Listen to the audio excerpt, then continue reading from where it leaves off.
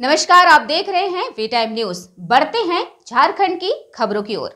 झारखंड में पारा शिक्षकों का आंदोलन जारी है। टेट पास, पारा शिक्षक वेतनमान की मांग को लेकर मंत्री और सत्ताधारी दलों के कार्यालय का घेराव कर रहे हैं। इसी कड़ी में शनिवार को उन्होंने रांची में राजद के प्रदेश कार्यालय का घेराव किया और जमकर नारेबाजी की। टेट पास, पारा शिक्षकों ने कहा कि सरकार ने हमारे साथ वादा खिलाफी की है। सरकार चुनावी वादे में कही थी कि जब राज्य की सत्ता में आएँगे तो शिक्षकों की मांग को पूरा करेंगे। लेकिन अब मंत्रियों की ओर से सिर्फ़ आश्वासन हमें मिल रहा है।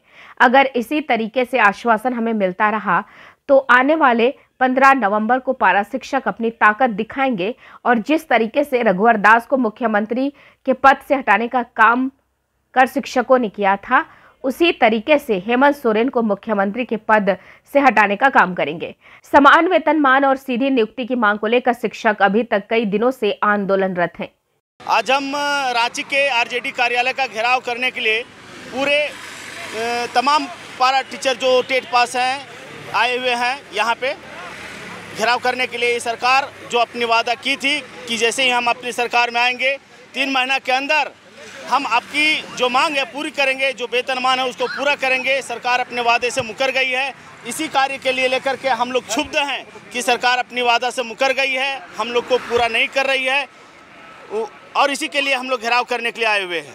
अगला स्टेप है कि हम लोग सरकार को चेतावनी दे रहे हैं कि हम लोग पूरे जितने भी चौदह हज़ार बयालीस पारा टीचर टेट पास जो हैं, आत्मदाह करेंगे और यदि सरकार हमारी बातों को 15 नवंबर के पहले पूरा नहीं करती है तो हम लोग वही दोहरी, दोहराएँगे जो रघुवर सरकार को हम लोग ने किया था। काला झंडा दिखाया था और उससे पूरा अस्तर इनका कर देंगे ताकि अगला ये नहीं, पूरा खानदान इनका जो है, सो नहीं आ पाएँगे। एक भी पद पे मुख्यमंत्री का सपना ही भूल जाएँगे। हम लोग के साथ बहुत अन्याय हो रहा है।